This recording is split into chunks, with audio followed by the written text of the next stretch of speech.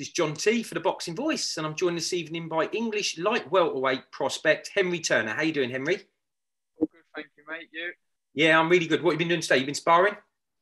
Uh, no, it's easy week this week, fight week Saturday, so just taking it easy. Went for a nice little run earlier, just tapering down now, ready to go. Oh yeah, it's Tuesday, isn't it? So when do you go in the bubble? Tomorrow? Tomorrow I go in the bubble, yeah, COVID test, and then I'm in there till well after my fight Saturday. So yeah, I'm going to come on to the bubble in a minute because I think you're quite experienced on them now. But before we go any further, first time we've had you on the site. So for any of the fans who aren't aware, uh, another good win last time out on a TV card. So it's a BT yeah. card on the Denzel Bentley Mark Heffron uh, undercard, and that moved you up to four and zero. Oh. How did you find the fight? Tell me about the fight. Yeah, yeah, found the fight good. It's a good performance. Um, took, I rushed it a little bit, but uh, I was overall I was happy. Um, this time looking to improve again and show more or more of my skill set, sort of thing. So yeah, yeah, I was overall it was a good performance. So you're happy overall with it, yeah? Yeah, I was happy. Yeah. And how, how was the bubble experience then? So I've, I've interviewed lots of fighters recently have been in it. Some of them find it so boring in your hotel room for a bit. But was it weird not having fans?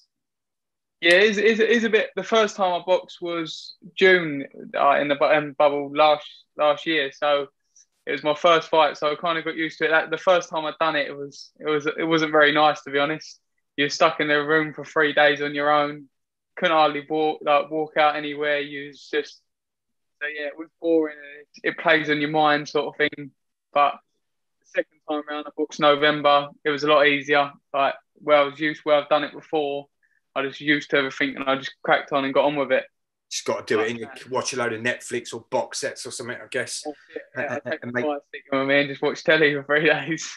yeah, fair play. Yeah, nice and relaxing. Well, look, that brings me on to the next fight. So you are out this weekend. We just mentioned. So you're going into the bubble tomorrow. Have your test, sit in the room, weigh in Friday, and then a big night Saturday. So it's another big card for you. You're on another Denzel Bentley undercard, and that's a great 50-50 fight. I'll come on to that in a minute. But what do you know about your opponent on Saturday, Henry? Um, I think I've had a kid uh, called Clayton Bricknell. I think he's got a 50 50 record. He's had 613, I believe. So a bit of a step up again. Not to usual. Like I've had a few journeymen, but now, yeah, stepping up. Hmm. He fought Ethan James uh, a few weeks back. Um, yeah, that's correct. I, I, don't want to try and tee you up for a future fight, you two. I've met, I've interviewed both of you, but you've got similar records. And Ethan, a bit like yourself, he seems to have got quite a few rounds under his belt. You, all four of your fights, you've gone to points. Is that yeah. good for you because you're getting experience? Sometimes when you just turn a pro and the fights might be a bit easier and you don't get the rounds in, it must be quite good. Yeah, to, to be honest, the knockouts that don't really seem to bother me that much because I'm getting the experience now but when I box the later rounds and I've got to do longer rounds, I'm used to it. I've done it before. Whereas some of the, I know some of the, it's great kids knocking like knocking boys out in one, two, two rounds. But when they go on and then they jump into eight rounders and they've been doing four rounders, knocking boys out in two rounds, it's a lot. I think it. I think I think they struggle a little bit. But now I've had I had my first six rounder, my last fight went all six rounds. So yeah, I'm getting lots of experience in, and I'm happy, sort of thing. Yeah, I 100% agree with that. That's just my opinion. And I'm a fan as well as obviously a journalist. But you do get some fighters that sort of like knock them out first, second round. They'll have like 10 fights and they've had like 20 odd rounds under their belt. But you, you might have 20 odd rounds after like half a dozen fights. And all that will do yeah. help you further along the line. Tell yeah, me, help, you, yeah, help you in the future. Definite. Tell us a little bit about your amateur career, if you don't mind. I know that's back in the past now, a year or two ago, but you've got a very, very good CV from the amateurs. I, I, as an amateur, I won seven national titles. I won the European Games. I was European champion in 2016. Mm. Um, I won multiple, about five international championships. Uh, and not having 60 fights, losing four. So I've done all right as an amateur. Yeah, Speaker's right. gone a little bit muffled there as you sat back. I don't know if it's the.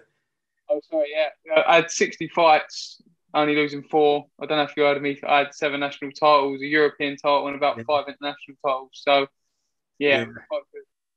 That's stunning, mate. And again, that I'd heard lots about you and that you'd come up that way. And that again, that will put you in good stead for the pros. I know you also live um, in Am- in Amersham in Buckingham, and you go all the way around to Kent. Do you for your gym?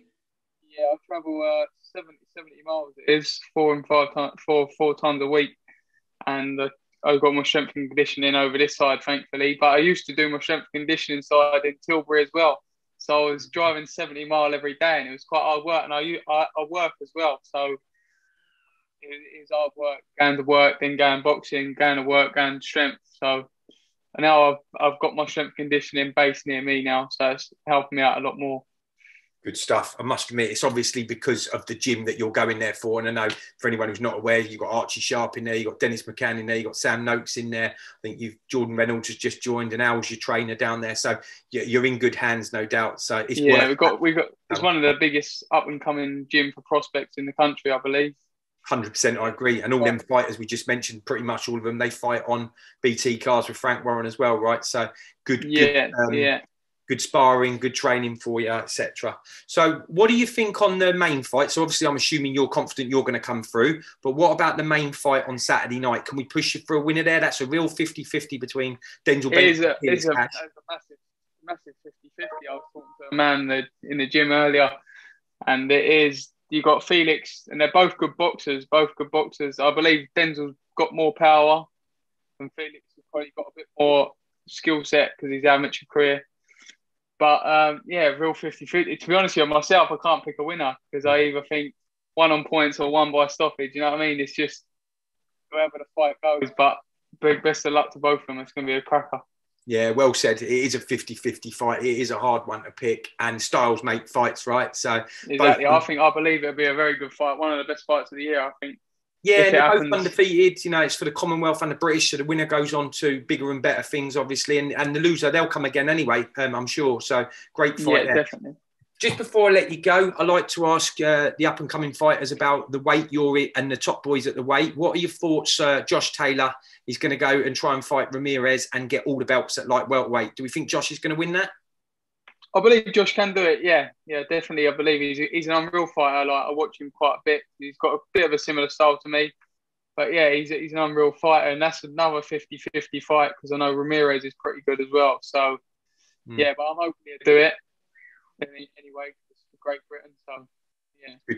Exactly, and then he'll have all the belts be unified and undisputed, which will be great. Yeah, exactly. But, look, Henry, thanks so much for your time. I know it's hard to get hold of you because you're busy training, and but you're winding down now. Safe travel into the bubble tomorrow. We'll be watching on Saturday night, and uh, I think I'm due to come down and see you down your gym in a few weeks anyway. So we look forward to catching up soon. All right. Cheers, Henry. Thank you very much, mate. Thank no you. I'll see you soon. Enjoy the video. Feel free to hit the like, subscribe, and share. As always, if you want to support us to the next level, head over to the patreon.com backslash the boxing voice. We have tons of exclusive from Border Wars, Entitled, betting shows, the list goes on and on and on. But in addition to that, if you guys have questions for fighters, trainers, and promoters, this is where you can submit them. We will run out, get these questions answered, and put it back on the show just for you guys. Appreciate it. Peace.